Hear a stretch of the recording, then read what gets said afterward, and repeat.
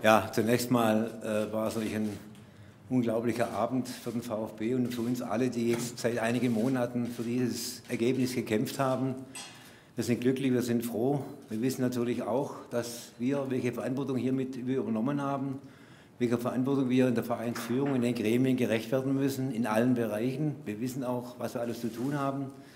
Wir wissen auch, dass damit wir doch lange nicht die Ziele erreicht haben, logischerweise, die wir uns gesetzt haben. Aber wir haben eine wichtige Grundlage erreicht. Und zwar, wie gesagt, wir können darauf aufbauen.